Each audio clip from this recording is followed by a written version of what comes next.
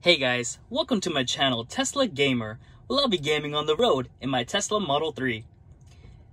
Before you, you see some of the games that were handpicked by Elon Musk and his team at Tesla. So quickly now, I'm just going to go through some of the games available in Tesla's gaming section. Please note that the games are arranged from newly uploaded to oldest.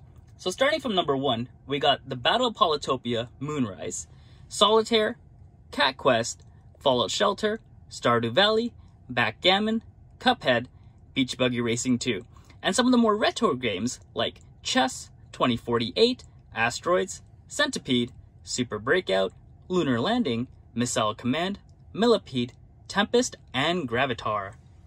Now, one of the first games that we'll be playing is called Cat Quest. So, Cat Quest is a single player RPG game, and RPG games are one of my most favorite genres to play.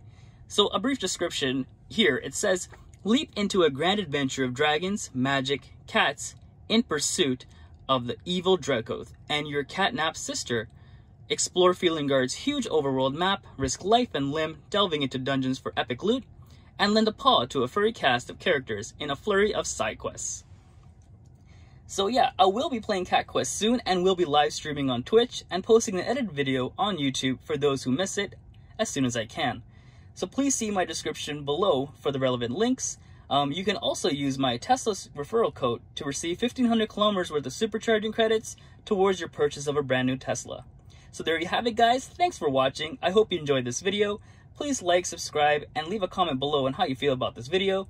Till next time, take care.